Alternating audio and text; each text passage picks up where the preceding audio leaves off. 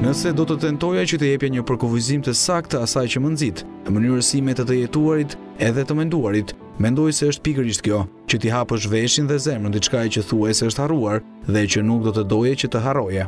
Kështu e ka cilësuar mjeshtri i kinemasë italiane, por edhe i gjithë botës Federico Fellini artin e tij.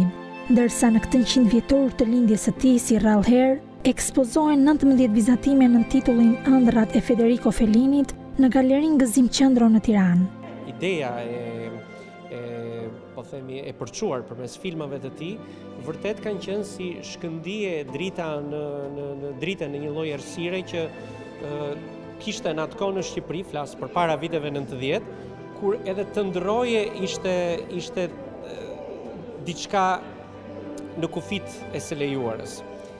Edhe ky është një dimension universal i Fellinit që vlente atëherë, vlen edhe sot shumë, unë mendoj do vlejë dhe për të ardhmen. Federico Fellini ka qenë një figurë shumë e rëndësishme jo vetëm për filmografi, për kinematografi, por edhe për artin vizuale, sepse na ka ndihmuar Të kuptonim rëndësinë e ëndrrave.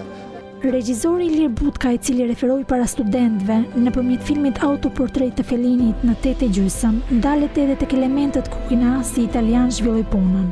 Është një nga ata lloj krijuesish që kanë ndryshuar mënyrën e të parit filmit.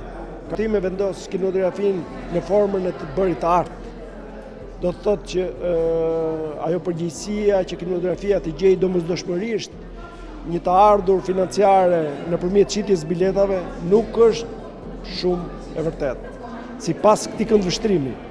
Nëpërmjet këtyre vizatimeve të shkëputura nga libri i ëndrrave, vjen një udhëtim nëpër dhomat më të fshehta dhe intime të krijimtarisë së Federico Fellinit, ku ashtu sikundër e konsideron drejtoresha e Institutit Italian Alessandra Bertini Malgarini, Është një kozmografi e vërtetë personale, ku shtigjet emocionale, kulturore, erotike dhe afektive gërshetohen me ato gjeografike, arkitekturore dhe përkujtimore. Një vit i madh i dedikuar Fellinit, ky është eventi i parë që kemi organizuar me Universitetin Polis, duke shpresuar që studentët të prekin magjinë e filmit, për të prezantuar më pas filmat e restauruar edhe në shtator, do të sjellim kostumet, dizajnimet, edhe posterat e tjerë origjinalë të Fellinit. Federico Fellini është regjizori i disa Oscarëve. Ekspozita do të qëndrojë hapur për publikun në Galerinë Gëzim Qendro në Universitetin Polis deri në datë dhjetë shkurt.